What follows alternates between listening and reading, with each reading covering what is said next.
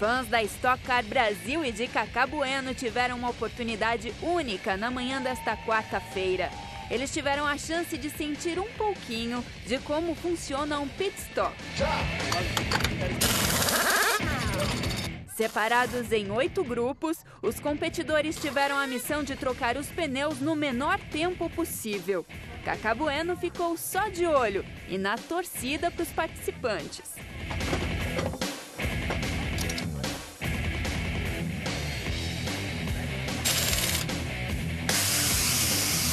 Piloto tetracampeão da Stock Car e atual líder do campeonato com 159 pontos, 10 à frente do segundo colocado Attila Abreu, chega a Interlagos neste domingo, na última prova da temporada 2012, com plenas condições de faturar o quinto título da carreira.